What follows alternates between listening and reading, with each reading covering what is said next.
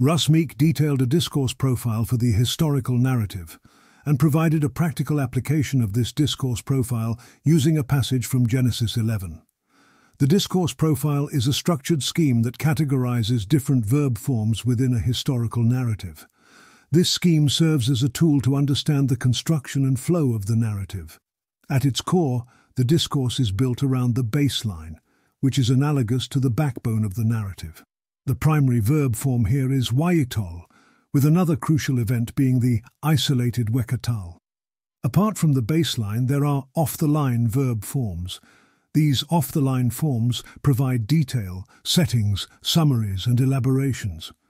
They tend to slow down or pause the narrative's progression, allowing for commentary, details or background information. Some examples of off-the-line forms include 1. Ex katal, which is fronted 2. Direct speech, typically introduced by specific Hebrew terms 3. A relative clause indicating past background with katal 4. A dependent clause with yiktol indicating non-past background 5. Background activities described by participles 6 procedural discourse, which can be either an ex yiktol outside of direct speech or a series of wekatals. 7. Explicit mentions of time duration. 8. The transition marker yiktol, 9. Verbless clauses setting the scene. 10. Irrealis scene setting, which negates any verb. Also, this discourse profile suggests that the baseline verb form wayyiqtol acts as the narrative's foundation.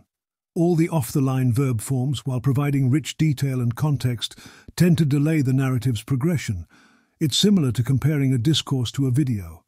While baseline forms keep the video playing, the off-the-line forms pause or slow it for emphasis. However, the scheme doesn't rank the importance of different verb forms. Instead, it provides a tool to understand how different verb forms contribute to the structure and rhythm of a historical narrative.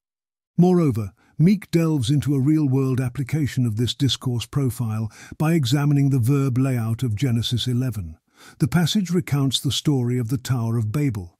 The narrative begins by establishing that the whole earth used the same language.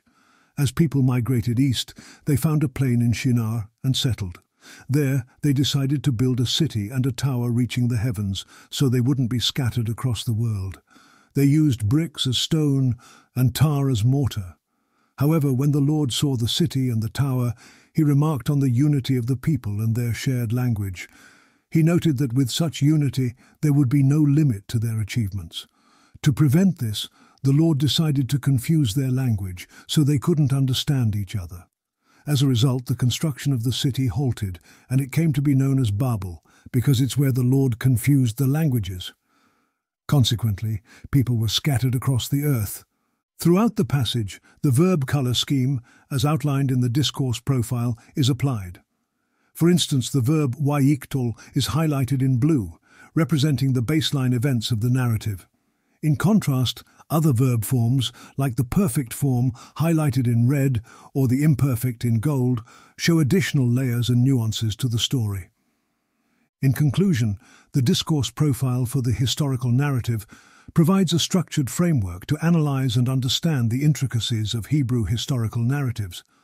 By categorizing verb forms and demonstrating how they influence the narrative's progression, it offers valuable insights into the storytelling techniques of ancient Hebrew texts.